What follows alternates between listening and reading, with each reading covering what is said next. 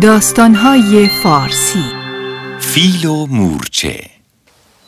این داستان فیل و مورچه است. روزی روزگاری فیل بزرگی توی یه جنگل زندگی می‌کرد که خیلی به هیکلش میبالید همیشه حیوانای دیگر رو آزار می‌داد و مسخرشون می‌کرد.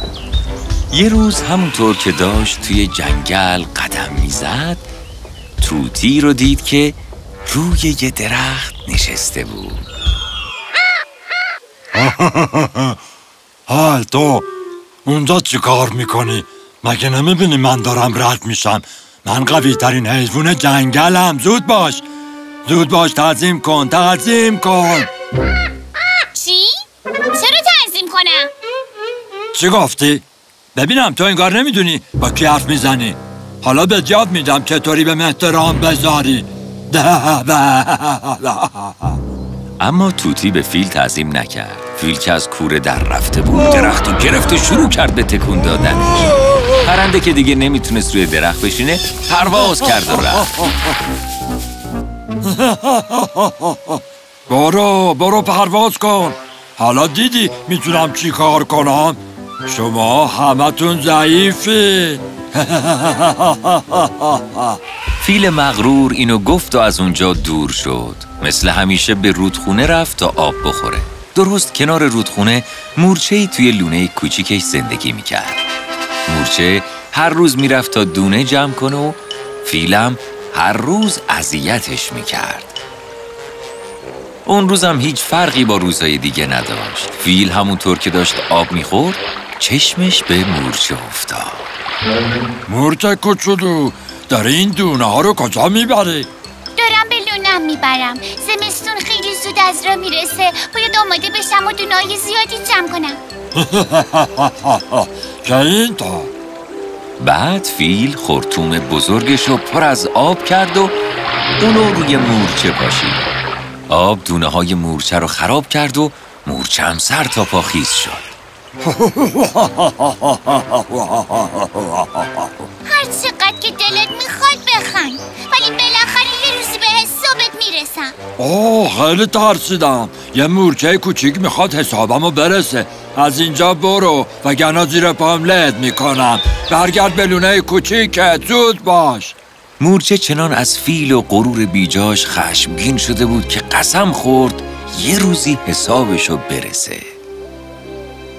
باید یه فکری به حال این فیله بکنم تا دیگه انقدر بقیه رو اذیت نکنه. روز بعد مورچه برای جمع کردن دونه بیرون رفت. وقتی فیلو دید که خوابیده فورا شروع کرد به نقشه کشیدن.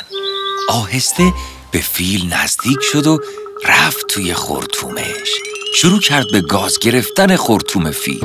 اونقدر گازش گرفت که فیل بیدار شد و از شدت درد شروع کرد به فریاد زدن. خورتومم خیلی درد می‌کنه. کی رفته تو خورتومم بیا بیرون. مورچه صدای فریادای فیل رو شنید و به گاز گرفتن ادامه داد. فیل که خیلی دردش گرفته بود زد زیر گریه. خواهش می‌کنم. یکی کمکم کنه خواهش می‌کنم. کی رفته تو خورتومم بیا بیرون خواهش می‌کنم. بیا بیرون. مورچه صدای فریادای فیل شنید و اومد بیرون. فیل از دیدن مورچه کوچولو تعجب کرده بود. فیل که ترسیده بود مورچه دوباره گازش بگیره به زانو افتاد و شروع به معذرت خواهی کرد. لطفا منو ببخش. دیگه هیچ وقت اذیتت نمی‌کنم. فیل به اشتباهش پی برد و از اونجا رفت و از اون روز به بعد دیگه هیچ کس رو اذیت نکرد. حالا دیدی که به بزرگی و کوچیکی نیست. ما همه توانایی منحصر به فردی داریم. پس مغرور نباش و از توانایی برای کمک به دیگرون استفاده کن. خب بچه ها چی یاد گرفتیم؟ اینکه همه ما توانایی های منحصر به فردی داریم.